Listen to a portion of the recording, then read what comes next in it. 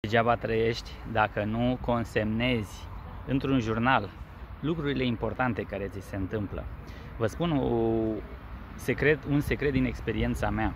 În consilierea pentru dezvoltare personală e foarte important să-ți vezi parcursul, să înveți din greșelile trecute, să-ți examinezi reacțiile, gândurile, atitudinile. Asta te ajută până la urmă să te dezvolți personal și să evoluezi, da? să înveți din greșeli.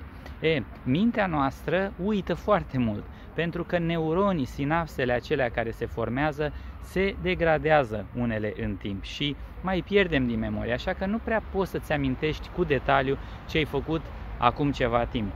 Ce te ajută să faci însă este să ai un jurnal, fie că îți faci pe telefonul mobil sau un jurnal scris în care în fiecare zi să consemnezi acolo ce reacție ai avut uh, la anumite situații, ce alegeri ai făcut, ce ai descoperit, ce ai învățat, ce greșeli ai făcut, uh, ce constatări ai făcut, ce revelații ai avut, ce ai învățat ceva bun în viața ta, astfel încât să le poți reviziona periodic și să poți să ți le amintești. Pentru că dacă nu faci asta, vei uita, chiar dacă tu ai o anumită revelație de-a lungul vieții sau descoperi ceva, dacă tu nu notezi undeva, vei uita și atunci este ca și cum ai fi trăit degeaba. Nu te poți folosi de acel câștig în viitor.